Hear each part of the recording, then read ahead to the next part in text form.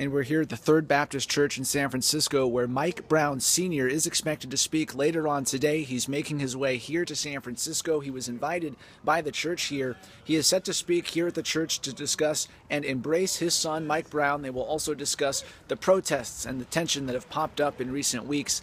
That speech set for 4 o'clock today, again, here at the Third Baptist Church in San Francisco.